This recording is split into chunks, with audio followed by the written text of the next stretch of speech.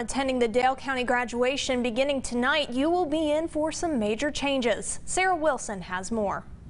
Josh Herring and Special Events Coordinator Kirsten Hall tells us guests can expect a change in seating for graduation. We'll be implementing social distancing and sanitation practices.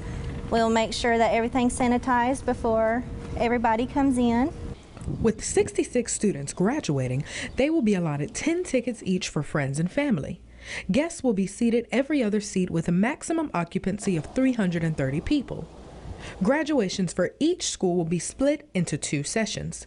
Ariton School taking place on June 11th at 5 and 7 p.m. and doors opening at 4:30 and 6:30 p.m. Then GW Long High School taking place June 12th at 5 and 7 p.m. and doors opening at 4:30 and 6:30 p.m.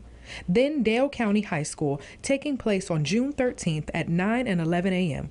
and doors opening at 8:30 and 10:30 a.m.